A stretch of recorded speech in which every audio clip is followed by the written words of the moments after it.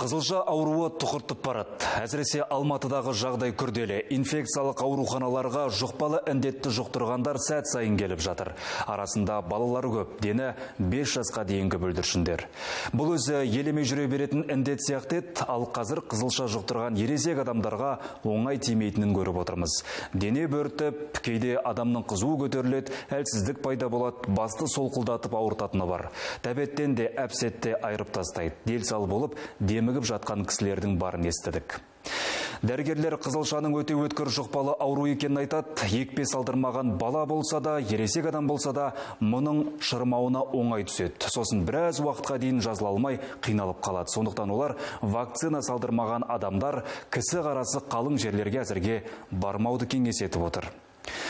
Қызылшаның белгісі тұмауға ұқсас, мұрын бітет, жөтел пайда болады, оны тек денеге шығатын бөртпелерден айыруға болады. Сол бөртпелердің жылдам кете қою екталай, ал егер ауыз қосына қарай тарап кетсе, тіпті қиын.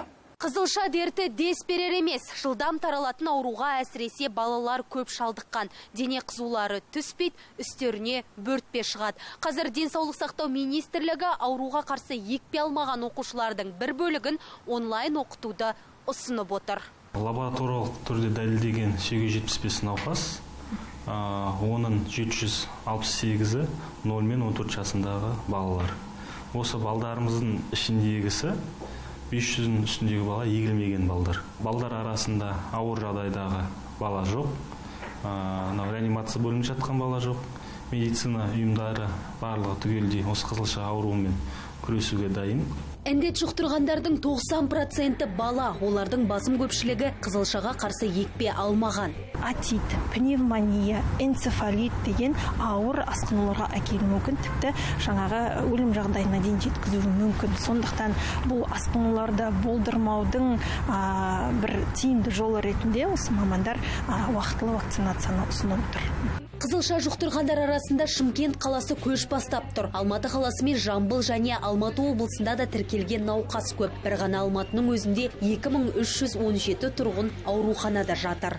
Қазіргі таңда қызылша ауруының күрт көбейіп кетуіне байланысты осы індеттен құтылудан бірден бір жолы осы екпе алу болып есептеледі. Сол себептен біз қызылшаға қарсы жаппай иммундауды бастап отырмыз. екпеге балалардан бөлек иммундық статусы жоқ. медицина қызметкерлерін екпелеу ұйымдастырылып отыр. Бұл жылдағы жоспарланған екпеден бөлек қосымша екпе қызылшаға қарсы қосымша екпе екпені біз осы 10 қарашадан бастадық.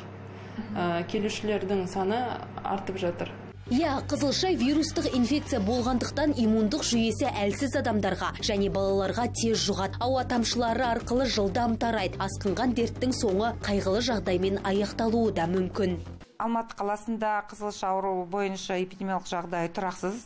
Аурудың басым бөлігі 80-ден астам пайызы бұл 14 жасқа дейінгі балалар арасында тіркеледі. Оныншы қарашасынан 13 қараша аралығында қалада 266 бала екпе алды.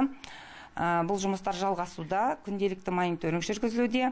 Атырауда да жағдай мәз емес. Облыстық екінші ауруханаға күніне алпыс адам қызылшыға күдікті ретінде шағымданса жиырма шақтысы стационарлық емге жатқызылады. Қазір ауруханадағы жүз орын науқасқа лық толы. Кейбір науқастар олар өздерінің қызылша инфекциясын қайдан жұқтырғанын білмейді.